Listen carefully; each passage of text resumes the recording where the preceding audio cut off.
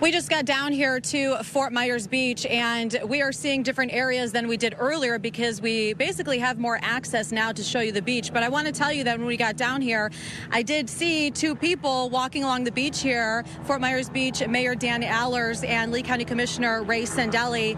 And I stopped them and asked if they could go live with us just to update us. We know right now they're still, explain what's happening right now actually with all these helicopters. Uh, it looks like the sheriff's helicopter flying over. We just saw it look like some some uh, Coast Guard that flew by just a few minutes ago over the beach. It looked like they were heading towards Captiva, so it's been kind of a helicopter day. You know, something that I want to point out compared to, you know, it's difficult to compare each hurricane because they're all so drastically different. But I know from covering Hurricane Ian, we know exactly what happened then. And I will say, and I'm sure that you will agree, there's been a drastic difference in the way people treated this Hurricane Milton. Don't you agree? Oh, 100%. Uh, the fact that everyone heeded the warning and got off the island when we asked them to evacuate made a big, big, it played a big role in being able to get to where we're at today, where people can get back on the island relatively quickly. Uh, when we got back to the island about 3 o'clock this morning, we had the fire department had zero calls for rescue. So they were able to turn the island over to us very quickly.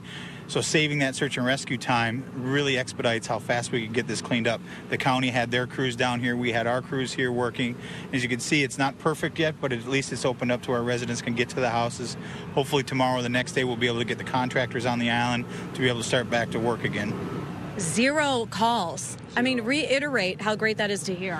Uh, uh, both the chief and I looked at each other and couldn't believe it. Couldn't believe that there were zero calls in his queue for. Uh, and usually after Ian or after some of the other storms, one of the first things you hear are the re- first responder uh, sirens going by. You know, the the ambulance or whatever. Haven't heard that at all today. So, and I've been out here since three o'clock. Commissioner, yes. Explain to us what you've been seeing here. And I know we're, we're all feeling the effects. You and I, when I first saw them, I said, you know, do you guys have power? That's the first thing. We're all checking in on each other. But when you first got down here, what's your reaction? Well, I, will go back to something you just said a little while ago. I think what the way, the way it's working is we're learning from each other. You know, the, the leadership team, whether it's the county or the town, uh, is interfacing very well and communicating very well with the residents. And so we're learning from their issues. We're sharing that with them. And so I think we're getting better as a community and as a leadership team. It seemed that that evacuation, those orders came out quickly, right? Mm-hmm. Yeah, we had put out, we had a meeting on Sunday. Uh, we had talked to the county before we announced it that we were going to shut the island down at 3 o'clock on Monday they agreed they were going to follow suit or be right in line with us. They agreed on. So we wanted to make sure we all had the same message and the same timing. And then I think the next morning the commission came out with the same message. So that, I think that was key in getting people off the island. And I think it's important that we, Dan and I talk every day, sometimes multiple times. You know, we want to make sure that we're speaking with a unified voice so people don't get confused. Well, he told me that, he told me that, and I think it's working. And so people are learning, we're learning, and it's, it's working. And the results is when you have a, a challenge.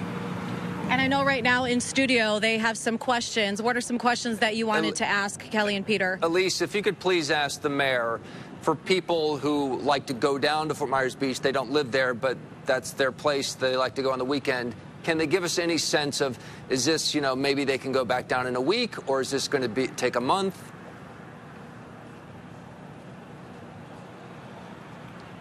I will say that when our photographer and I were heading over here to the beach at the bottom of Matanzas Pass, you do have to show an ID. You have to show a reason why you're getting over here. Peter was just asking for people who love to come down here and enjoy the beach. When can they expect to get back down here? Well, we're going to need a couple of days. You know, our, our, our, top priority right now is getting Estero Boulevard safe to pass for trucks and for trailers so people can get back to their houses and start working. Once we're done with that, we'll start on the beach. It doesn't look too bad on the beach, so we should be able to get that cleaned up fairly quickly once we get this taken care of.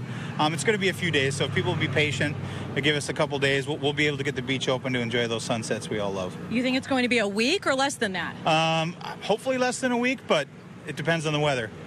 We've had a, re- a, weird couple of weeks, so I, I don't want to promise anything, but we'll move as fast as we can. As you can see, we're moving fairly quickly today.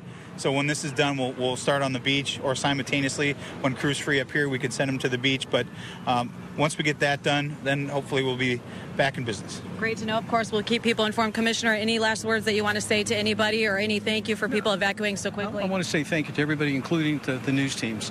You know, we can put out the policy and so on and so forth, but what you communicate, and how you communicate it, is vitally important to us. So thank you.